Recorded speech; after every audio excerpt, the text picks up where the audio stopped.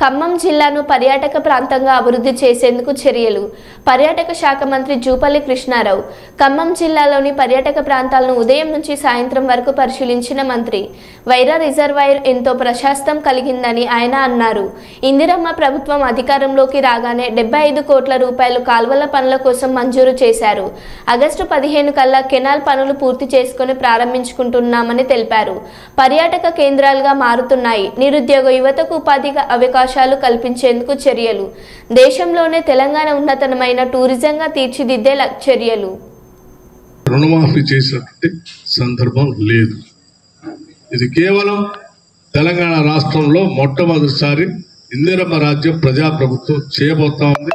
ఆ చేసేటువంటి చారిత్రాత్మకమైన కార్యక్రమం వైరా పట్టణంలో జరగబోతా ఉంది ఆగస్టు పదిహేను నాడు.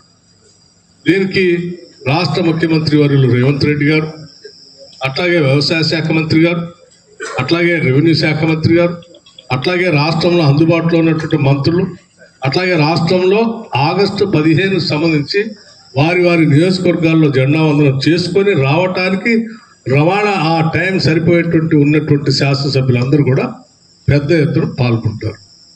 సో నేను దయచేసి రాష్ట్రంలో ఉన్నటువంటి రైతులందరికీ కూడా మన ప్రాంతం నుంచి ఈ వైరా పట్టణం నుంచి రుణమాఫీ చేసే చెక్కుల పంపిణీ కార్యక్రమం పెద్ద ఎత్తున జరుపుతా ఉన్నాం కాబట్టి రాష్ట్ర రైతులందరికీ ఒక మంచి సందేశం ఇచ్చే కార్యక్రమం ఇక్కడ నుంచే జరుగుతుంది కాబట్టి ఈ ప్రాంతంలో ఉన్నటువంటి రైతాంగ సోదరులందరూ రైతు సన్నిహితులు రైతు శ్రేయోభిలాషులు అందరూ కూడా ఆ భారీ బహిరంగ సభకి పెద్ద ఎత్తున పాల్గొని విజయవంతం చేయవలసిందిగా నేను మీ అందరికీ మీ ద్వారా విజ్ఞప్తి చేస్తా ఉన్నాను. ఇది మనందరికీ గర్వకారణం. సభ భారీగా జరగా రైతులకు మేలు జరగాలి ఇంకా దీన్ని స్ఫూర్తిదాయకంగా మరెన్నో కార్యక్రమాలు జరిగేటట్టుగా మనం ముందుకు పోదామని చెప్పి మీ అందరికీ సవినయంగా మనం తెలుస్తూ చాలా ఈ ప్రాంతంలోనే ప్రాశస్త్యం కలిగినటువంటి ప్రాంతం రిజర్వాయర్ ఇది. ఎప్పుడూ డ్రై కాకుండా నిత్యం నీళ్ళు ఉండేటువంటి రిజర్వాయర్ ఇది. దీనిపైన నాగార్జున సార్ లెఫ్ట్ కెనాల్ కూడా దీనిపైన వచ్చే ప్రవహిస్తూ ఉంటుంది ఇప్పుడు సీతారామ ప్రాజెక్ట్ నుంచి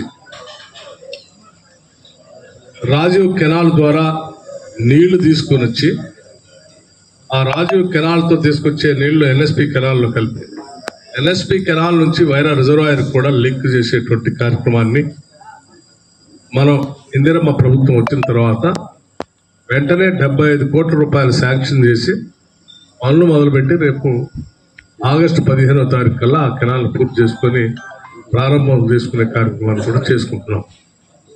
ఇవన్నీ ఎందుకు చెప్తున్నామనంటే భవిష్యత్తులో కూడా ఎప్పుడు వైరా రిజర్వాయర్కి సంబంధించి నిత్యం బ్యాలెన్సింగ్ రిజర్వాయర్గా నీళ్ళు ఉంటాయి దీంట్లో.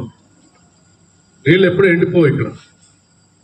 ఒకవేళ పొరపాటున వర్షాలు కొద్దిగా తక్కువ పడి అంతగా నిండకపోయినా కానీ అటు ఎన్ఎస్పి కెనాల్ నుంచో లేకపోతే ఇటు గోదావరి నీళ్ళలో తీసుకొచ్చి దీన్ని నింపి అలుగులు పారించే కార్యక్రమం నిత్యం జరుగుతూనే ఉంటుంది.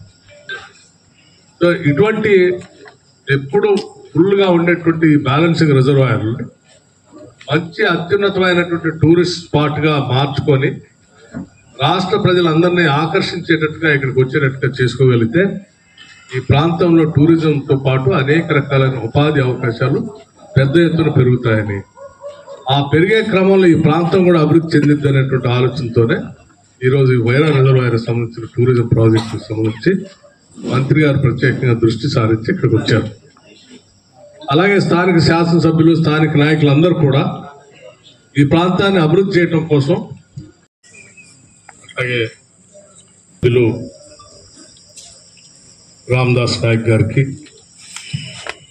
గిడ్డంగులు సంస్థ చైర్మన్ రాయల్ నాగేశ్వరరావు గారికి